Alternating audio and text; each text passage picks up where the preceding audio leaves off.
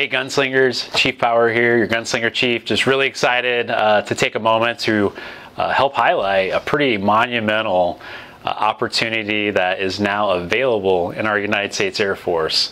Um, the Headquarters Air Force has released the official PSDM uh, to accept applications for the new Cyber Warrant Officer program.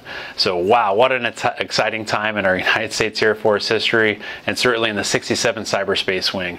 We have such tremendous experts in our craft in cyberspace operations that we are excited to see the upcoming applicants uh, apply for this Warrant Officer program.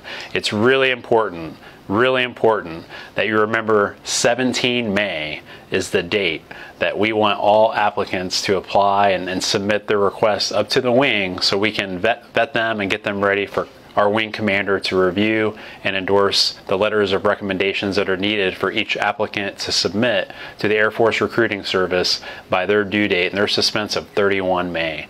Just remember the, the official guideline that we're following is the PSDM, and that's what the Air Force put out. Has all of the eligibility requirements. Most notably, we really want to make sure you meet the qualification requirements that are outlined for 17 Yankee for cyberspace operations or 17 Whiskey um, if it's on the IT side.